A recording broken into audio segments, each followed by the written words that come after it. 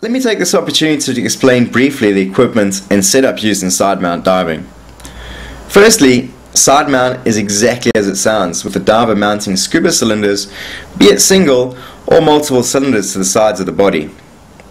Primarily used for entering restricted areas, it is now more commonly used on local reefs both by technical and recreational divers. It's fun, it's easy, and it's safe. Let's have a look at the equipment used. Firstly, let's take a look at the harness and the wing system. This is made up of a soft plate sandwiching a donut style wing. These 60 pound wings allow for even gas displacement throughout the wing, improving stability at any stage of the dive, and can be bungeed down to reduce drag. Padded shoulder straps with D-rings, adjustable strap lengths, and optional chest strap are available. Rear D-rings and handles for lower tank attachments, and adjustable bungee for the tank neck attachments. These SM100 units are fully user adjustable and easy to maneuver in. They come in various wing and harness sizes. So why side mount? Side mount diving has been around for many years and was primarily used by cave and wreck explorers. Yet it is only recently that dive manufacturers are making commercially available products for the consumer market. Many divers may find the traditional back-mounted setup limiting and cumbersome, but with the SM100, the side-mounted cylinders are making for fun, easy diving, increasing comfort and safety throughout. Let's have a look at these cylinders. Doffing and donning the cylinders is made easy by two simple attachment points. The lower is secured by a cam band, stopper and gate clip attaching the cylinder to the lower attachment points on the harness. The upper attachments are secured in place by the harness's bungee holding the tank neck in place. Regulator configurations are as follows. I use swivel first stages for streamlining and accessibility. All HP hoses follow the cylinder, meaning protection and good streamlining.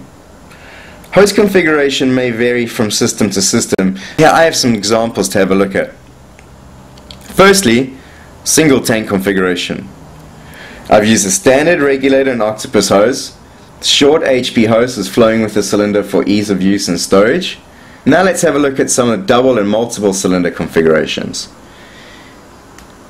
As you see, all HP hoses are facing downward for protection, ease of use, storage, and good streamlining. Left side cylinders contain the regulator hose, and these length again may vary between diver to diver. This will be a bungeed hose around the neck. Low pressure inflator used for the wing system. Right side cylinder. This side may contain a dry suit inflator if you're diving in a dry suit and a 7 or a 5 foot long hose which will be bungeed directly down the side walls of the tank and around the neck. This will be for ease of use and storage, reducing drag. Good. Now that you've had a look at the equipment on land, let's go see what it can do in the water.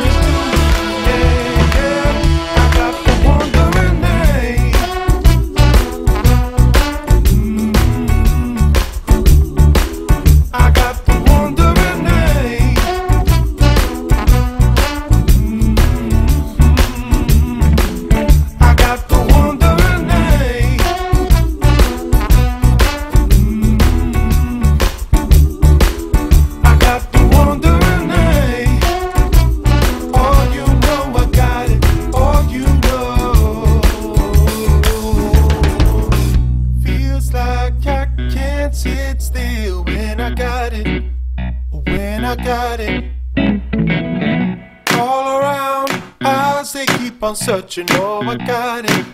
Yes, I got it. But when will it cease? Never gonna end.